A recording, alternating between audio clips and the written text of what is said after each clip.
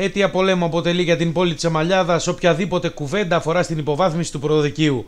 Έτσι κι αλλιώς, δια της υποστελέχωσης τα τελευταία χρόνια επιχειρείται η αλλαγή των δεδομένων, αφού από τις 19 οργανικές θέσεις σήμερα υπάρχουν μόνο 6 δικαστικοί υπάλληλοι, με το μέλλον να εμφανίζεται ως δυσίωνο, αφού αρκετοί εξ αυτών είναι κοντά στα όρια της συνταξιοδότησης.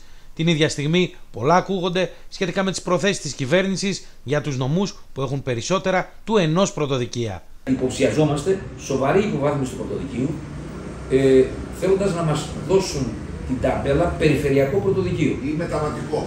Μεταβατικό το λέμε εμείς, για να σας θυμίσω τι είναι το μεταβατικό. Θα θυμάστε όλοι χρόνια τώρα που λειτουργούσε το πρωτοδικείο της Αμαλιά, η εισαγγελία και τα ποινικά δικαστήρια. Παράλληλα, μέχρι πριν κάποια χρόνια γινόταν ποινικά δικαστήρια κάθε Παρασκευές στα Λεχενά, στη Βάρδα, στη Γαστούνη, στο Βαρθολομιό ε, και, που αλλού, και παλιά θυμάμαι και στο Σιμόλο. Εγώ δεν το πρόλαβα στο Σιμόλο. Ναι, τι γινόταν; Έπαιρνε ο δικαστής και ο γραμματέας από εδώ τους φακέλους όλους τι δικογραφίε, πήγαινε την Παρασκευή το πρωί εκεί 9 ώρα και ξεκίναγε να δικάζει τις υποθέσει που αφορούσαν τη γαστρονική Αυτό λοιπόν λεγόταν μεταβατικό. Υπάρχει λοιπόν ο κίνδυνος να γίνει κάτι παρόμοιο με το πρωτοδικείο μα. Στο πλαίσιο αυτό, ο Δικηγορικός Σύλλογος Αμαλιάδας συναντήθηκε με εκπροσώπους φορέων και συλλόγων της περιοχής με σκοπό την ευρύτερη ενημέρωση και συζήτηση αναφορικά με το σοβαρό αυτό πρόβλημα που γιγαντώθηκε το τελευταίο χρονικό διάστημα. Δηλαδή να είναι κεντρικό πρωτοδικείο ο πύργος και εμείς να είμαστε κάτι σαν μεταβατικό. Που σημαίνει να μην έχουμε οργανικές θέσεις δικαστών, να μην έχουμε εισαγγελέα, να μην έχουμε εισαγγελέα, να μην έχουμε πρόεδρο πρωτοδικών.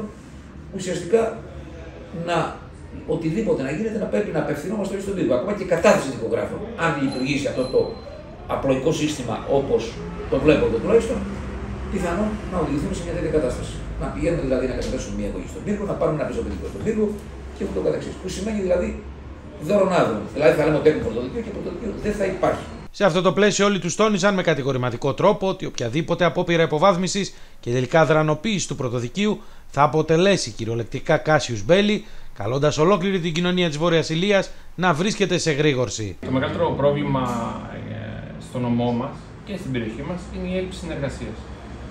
Ε, αυτό που γίνεται σήμερα ίσως να πρέπει να γίνει και τα προηγούμενα χρόνια και στι άλλες τομείς. Ε, θα σας αναφέρω την εταιρεία του χθε μου πήραν τηλέφωνο από το ΔΕΗ.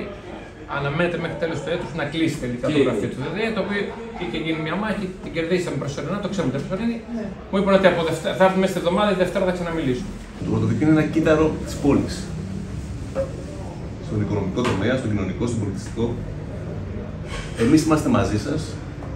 Ό,τι χρειαστείτε και οι συνάδελφοι εδώ τη Αμαλιάδα Πάντα ο γιατρός κοιτάζει το ιστορικό του ασθενούς. Το ιστορικό του ασθενούς τι λέει, ότι στην υπόθεση των σχολών με κυβερνητική βούληση έφυγαν από εδώ. Γιατί η κυβέρνηση αν ήθελε υπέγραφε και παρέμεναν. Αυτό το ξέρουμε όλοι. Εάν δεν πούμε ως εδώ και να δώσουμε τη μεγάλη μάχη τώρα, πραγματικά τα παιδιά μας ούτε καν θα έχουν σκέψη να γυρίσουν πίσω και όχι τα παιδιά μας, δεν θα θέλουμε κι εμείς να γυρίσουν πίσω. Πού να γυρίσουν πίσω, σε, ένα, σε έναν τόπο που δεν θα γίνει τίποτα όχι. Αν κλείσω το δικαίωμα, δεν είναι πρόβλημα της Αμαλιά. Για μένα είναι πρόβλημα της Ηλία. Γιατί και όλοι να πάνε στον πύργο, θα λειτουργήσει καλύτερα δικαιοσύνη; Όχι, βέβαια. Με λιγότερα οργανικά; Όχι.